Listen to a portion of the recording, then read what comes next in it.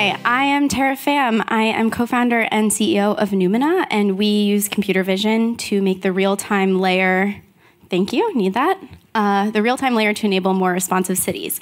So, first, a bit about our team. Uh, my background is in public health research, studying how city design affects people's behaviors, and that led me to leading a number of civic data projects, uh, both at local and national levels for governments and philanthropy.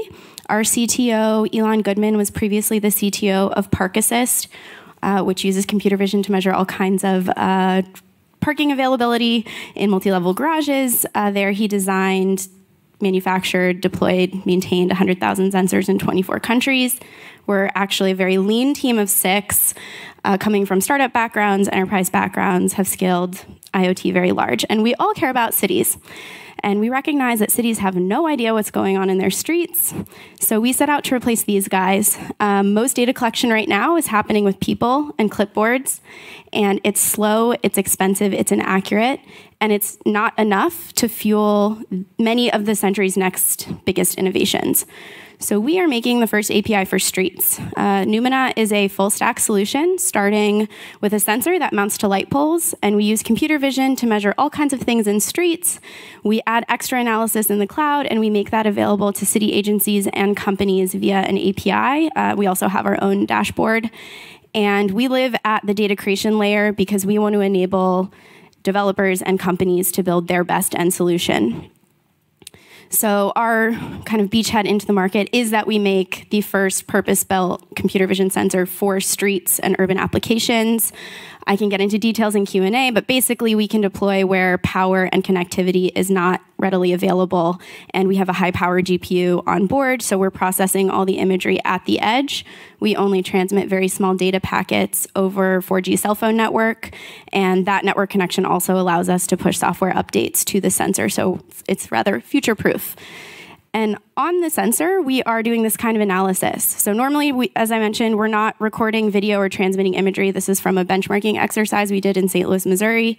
But we are detecting pedestrians, bicycles, different types of vehicles, wheelchairs. We're getting into other things, dogs, bags of trash, puddles, kind of if you can see it, we can measure it.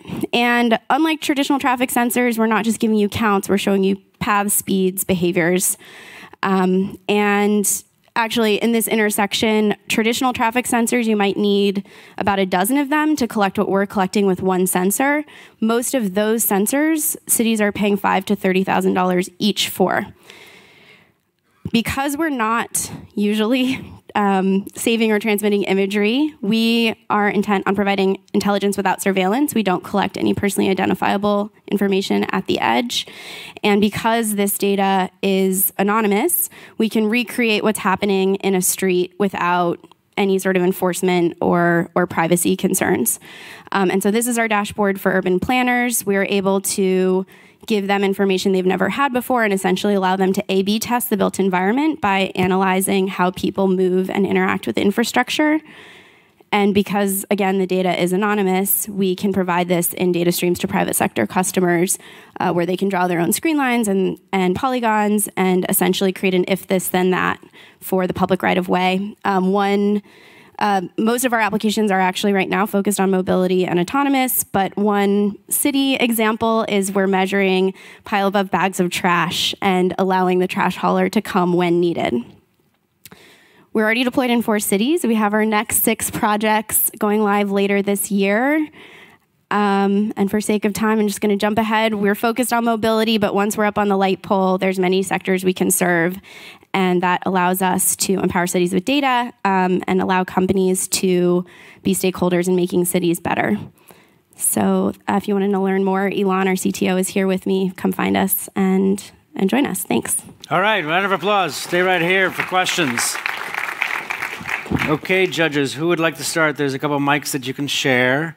There you go. Ahead. Hey, Tara. Great presentation. I know we met previously at Workbench, which is an enterprise-focused fund. So I'm curious about your go-to-market. It sounds like you're selling into government, but then there's also opportunity to sell into private developers. Yeah. Can you so, share more? So to date, we've been more focused on the distribution side, getting our sensors out. We've closed two cities in under 24 days from a cold email. So it's something we're actually good at doing, and that's kind of part of our competitive advantage. Um, but actually, later this year, we're working with a Big Ten university. We're working with Downtown Brooklyn Partnership, which is a huge business improvement district. Um, and then the way that we're actually partnering with AV companies right now, they've raised $80 billion in the past three years, and a lot of them are actually putting that into infrastructure and R&D now. So there are some situations where actually we're talking to automotive companies that would pay to deploy our sensors for the city.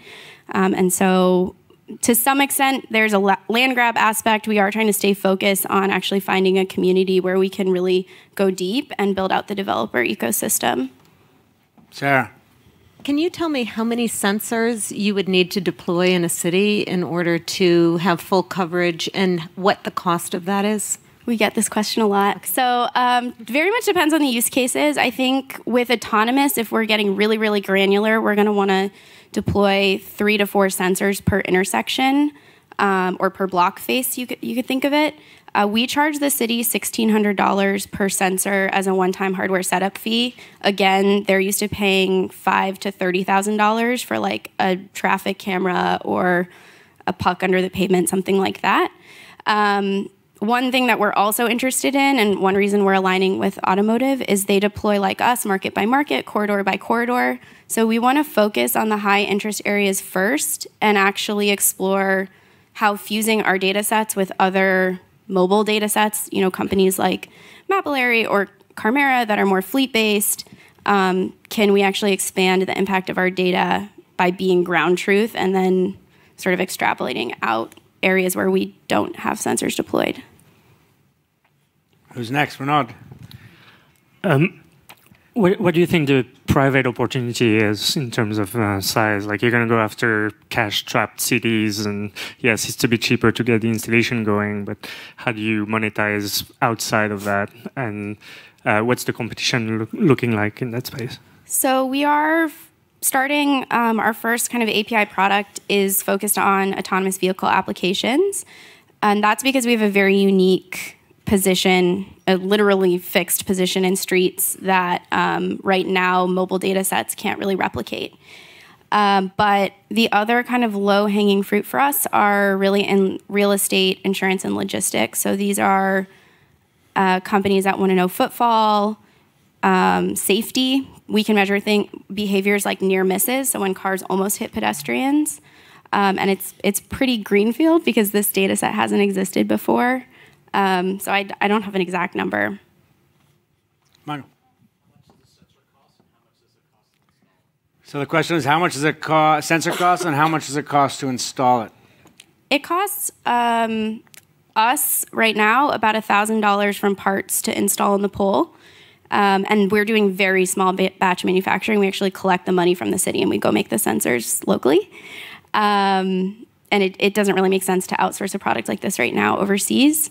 Um, we'd love to get to a point where we don't have any capex involved with our purchase and we're purely a SaaS purchase for the city or a data license, even. There are some cities where if you are a data license or a data product, they don't have to go through any procurement process. They can actually just choose you and go. And so, as much as we can fall into their OPEX, the better. Any other questions? One last question. Anybody from the judges? Okay, Tara, thank you very much. Thank you. Why don't you go that way and pass to the next one?